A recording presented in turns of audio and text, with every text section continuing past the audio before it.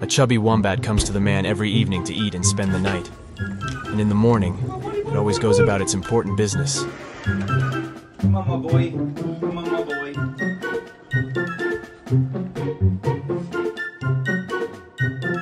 Thank you.